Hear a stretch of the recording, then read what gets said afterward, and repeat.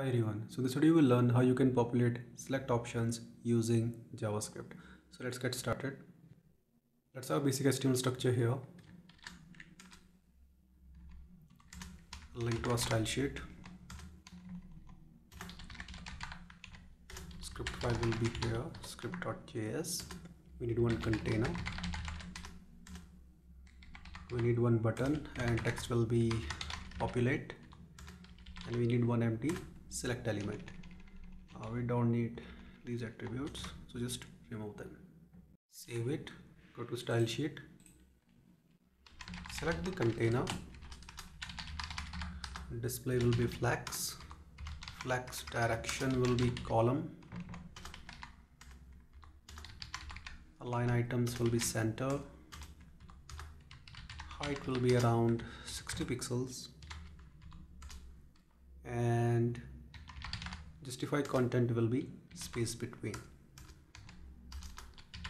Select the select element and give it a width of around 120 pixels. Now just save it open this file in the browser and this is the output. Now we'll create an array in the javascript and on the click of this button we'll populate the select element with bunch of options. Let's go to script file select the button that is populate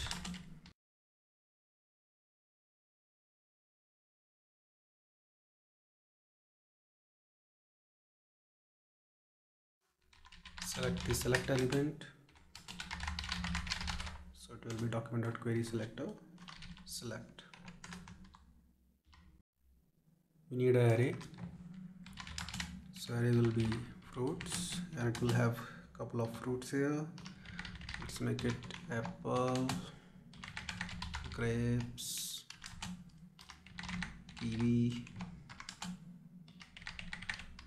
mango and orange.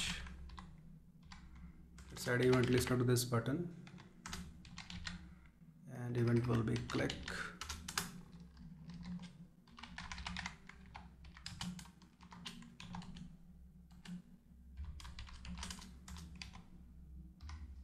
now first of all we loop through all these fruits and then we'll create an array of options element and we'll convert that options array into a string. So it will go like this. We'll call it options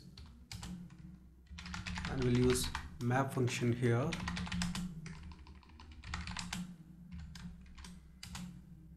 And generate the array of options. So let's make it option. We need a value attribute. So we'll take the fruit and make it in the lowercase. And the actual fruit name will go here.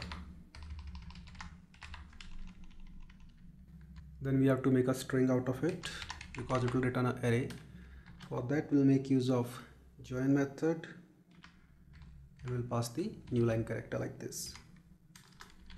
Then we'll select the inner HTML of the select element which will be equal to options.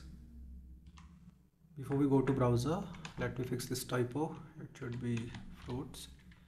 I just save it go to browser click and these are your select options. So if you want to get the value of selected option or selected text you can check out my previous video. The link of that video will be in the description. For this video is enough i think. It's working absolutely fine. If you want to modify this a bit you can do so. Here you can just make it banana. Save it. Go to browser click and it's working. I hope you got the point how the key works. See you in the next video. Have a nice day